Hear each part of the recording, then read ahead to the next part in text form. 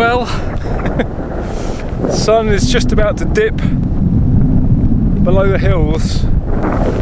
It's 25 to 4. I've just occurred to me that I've I've come full circle. The very very first video blog I did, I was cowering behind this cairn. Let's get out the wind.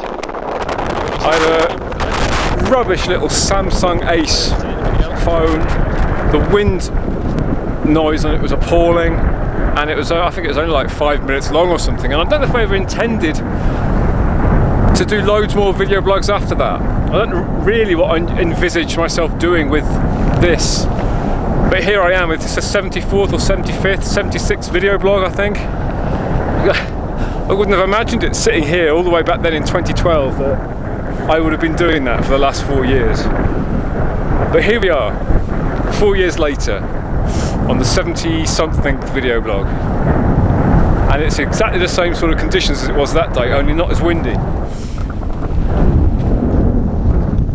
I don't really want to come down now that I'm up here, it's always the problem.